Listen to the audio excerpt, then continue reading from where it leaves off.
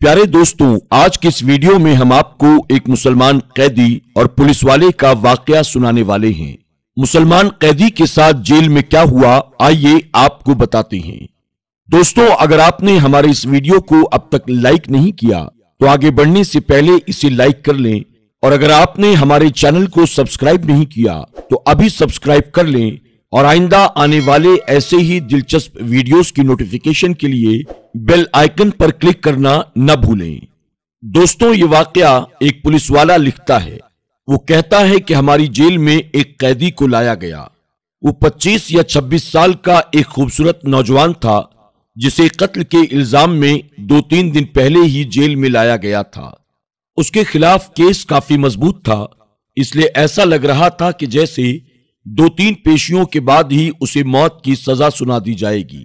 Police वाला कहता है कि पहले दिन ही से मेरा लहजा उसके साथ काफ़ी सख्त रहा, लेकिन हमेशा उसके होठों पर एक दिल जीत लेने वाली मुस्कुराहट होती थी और हमेशा वो मुझे बड़ा समझते हुए अदब और नर्म लहजे से बात करता था।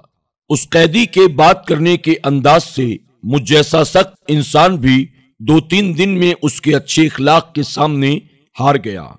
पुलिस वाला आगे कहता है कि एक दिन वो नौजवान कैदी नमाज़ पढ़ रहा था और सलाम फेरने के बाद वो दुआ मांगने लगा, मैं उसे देखता ही रह गया, क्योंकि वो इस तरह से दुआ मांग रहा था। ऐसा लग रहा था जैसे वो जिससे दुआ मांग रहा है, वो उसके सामने मौजूद हो। पुलिस वाला बताता है कि दुआ के बाद उसकी नज़र मुझ पर पड़ी तो उसके होठों पर वही प्यारी सी मुस्कुराहट आ गई। वो मुसल्ले से उठकर मेरे पास आया और हर बार की तरह मेरा हाल पूछा। आज मेरा लहजा काफ़ी नर्म था। बातों के दौरान मैंने उससे पूछा कि क्या वाकई तुमने कत्ल जैसा जुर्म किया है? क्योंकि मुझे उसके अंदाज से नहीं लग रहा था कि वो कत्ल जैसा जुर्म भी कर सकता है। उसने कहा, एक बेगुनाह इंसान का कत्ल पूरी इंसानियत का कत्ल है।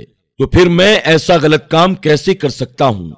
मैंने सवालिया नज़रों से उसकी तरफ़ देखा तो उसने कहा, जब अल्लाह इस दुनिया में किसी को इख्तियार देता है तो लोग अक्सर भूल जाते हैं कि ये इख्तियारात अल्लाह की तरफ़ से अमानत होते हैं। लोग इन सबको अपना कमाल और हक समझ बैठते हैं। और मेरे साथ भी कुछ ऐसा ही हुआ। उस नौजवान कैदी ने बताया कि हमारे इलाके के एक आदमी ने कत्ल कर दिया। और इत्तेफाक से मैं भी वहीं पर मौजूद था। उसने इल्ज़ाम मुझ पर लगा दिया और झूठे गवाह भी तैयार कर लिए। और इस तरह मैं जेल आ गया।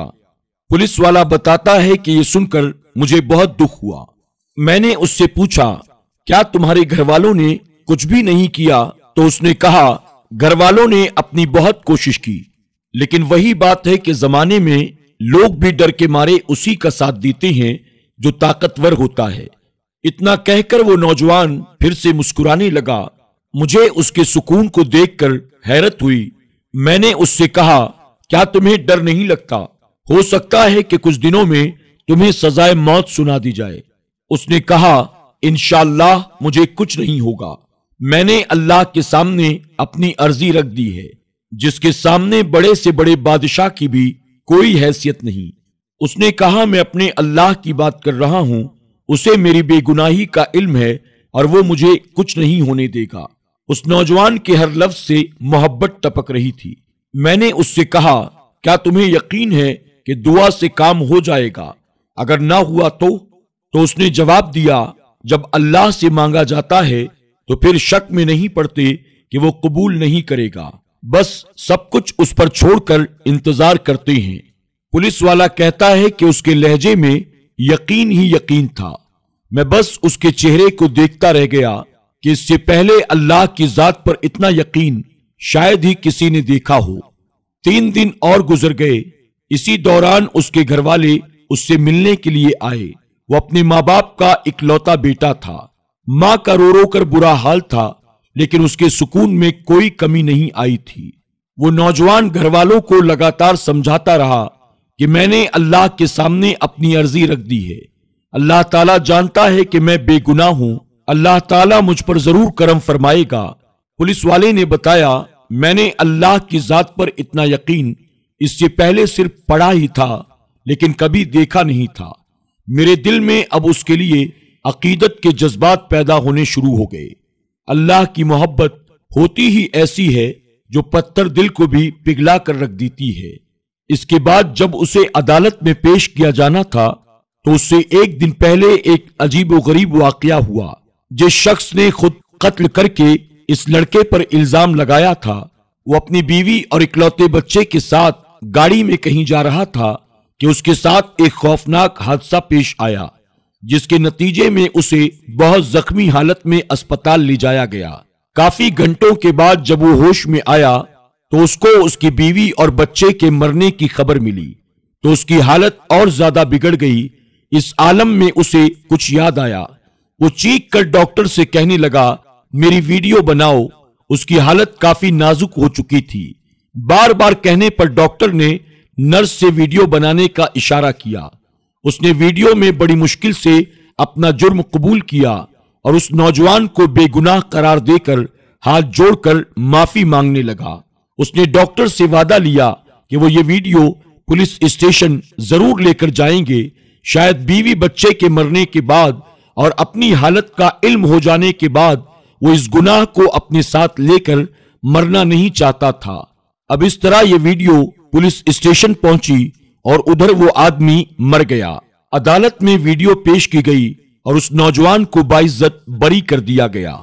आगे पुलिस वाला कहता है, मैं अदालत में खड़ा गुमसुम सोच रहा था कि अल्लाह उन बंदों की जो सही मायनों में उस पर ईमान लाते हैं, उनकी ऐसे ही मदद कर सकता है। उसकी सारी हथकड़ियाँ खोल दी गईं और माँ रोते हुए अपने बेटे से लिपट गई। माँ की आँखों में भी अजीब तरह के आँसू थे और आज उस नौजवान की आँखों में भी आँसू आ गए थे। शायद इस वजह से कि अल्लाह ने उसे इस हालत में अकेला नहीं छोड़ा और इस तरह से उसकी मदद की गई थी, जिसका किसी को अंदाज़ा तक नहीं था।